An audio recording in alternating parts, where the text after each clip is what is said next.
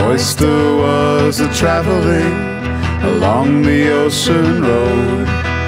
He'd been some time preparing, and now he'd left the fold. He was sick of being oysterized. He wanted to explode, to explode. Ooh la, ooh la, ooh la, ooh la, ooh la la la,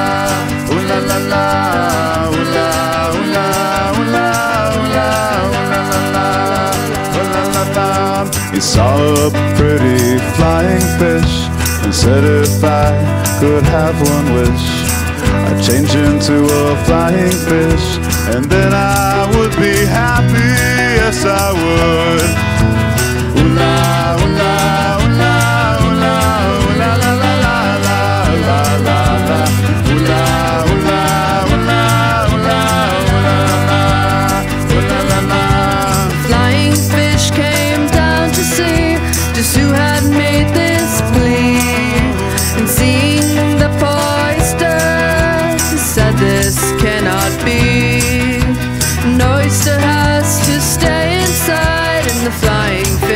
us free all the time.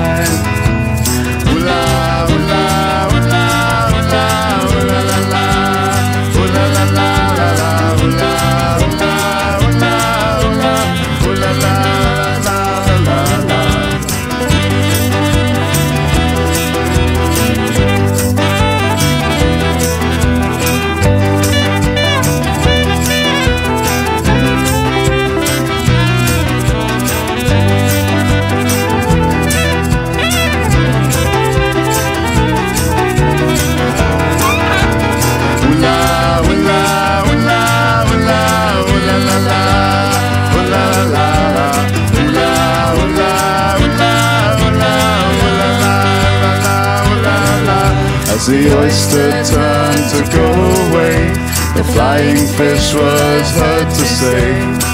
If I could find a place to stay, I know I would be happy, yes I would.